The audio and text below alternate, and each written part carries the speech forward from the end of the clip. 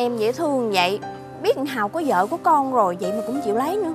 Phát hiện bí mật của chồng ngay Ủa? trong kỳ trăng mật. Là sao? Người vợ lòng mang đầy nỗi trách móc oán hờn. Tại sao ngay từ đầu Anh không nói chuyện này với em? Nghĩ mình mang danh mẹ ghẻ Tôi đã bị tổn thương. Lòng tôi chưa đủ khoan dung Để thật sự yêu thương nó Đứa con riêng của chồng. Cuối năm tôi sinh bé sóc Mẹ chồng mừng quýnh Bế cháu trai nựng nịu Chồng đang ngủ nửa đêm.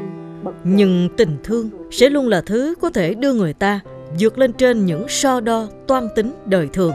Thiên chức được làm mẹ khiến tình thương dành cho bé thỏ dần tràn đầy trong tôi. Tự nhiên tôi rất muốn nó bên cạnh để chăm sóc. Cảm nhận những thông điệp nhân văn sâu sắc với câu chuyện Con riêng của chồng trong chương trình phim ngắn cuối tuần lúc 19 giờ 50 phút Chủ nhật ngày 4 tháng 12 năm 2022 trên truyền hình Vĩnh Long 1